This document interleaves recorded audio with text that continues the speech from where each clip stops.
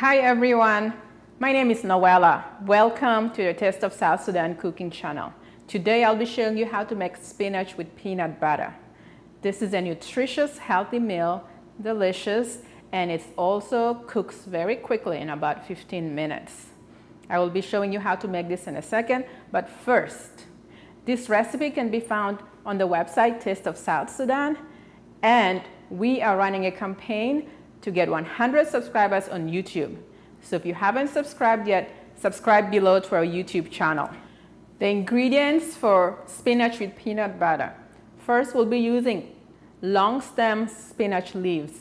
So I prefer the spinach with the stems because the stems create fiber and structure to the meal, whereas the soft spinach would usually not create that much structure. Um, we'll be using an onion. I have about one onion here um, and one tomato. We'll be adding salt to season our food. And the important ingredient is peanut butter. It's best to use peanut butter that's organic, that does not have sugar in it, or else your meal will end up tasting a little bit sweet. To chop the spinach leaves, we are going to align them with all the stems facing in one direction. And then I'll just gather it in my hands like so. And we're going to start chopping in this motion. And just keep moving your hand back as you chop. So once I have chopped all the stems, for the leaves, I can chop them a little bit bigger in size. We are going to start cooking our spinach with peanut butter. So what I'll be doing is I'll be boiling the onions in half to one cup of water on my stove.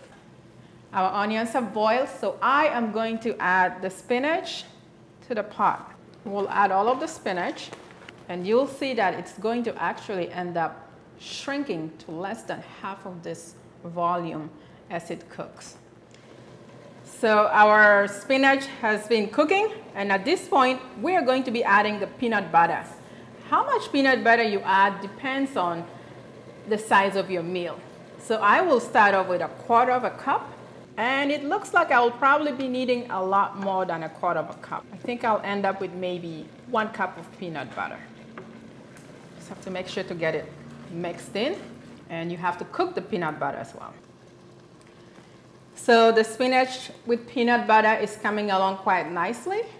I am going to add some tomatoes as the last step.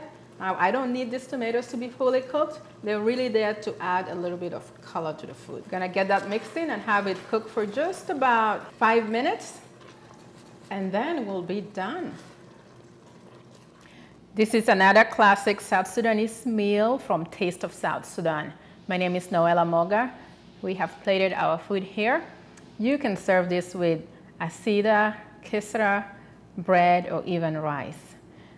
Thanks for watching everyone.